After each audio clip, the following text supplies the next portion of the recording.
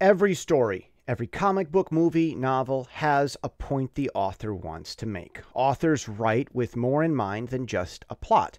Authors want to give readers a larger idea that can only be told in the form of a story. Some call this larger idea philosophy. Plato's cave was a philosophy embedded into a story. Jesus' parables were Judeo Christian values embedded into stories. But these neither strengthen nor bolster everyday life skill.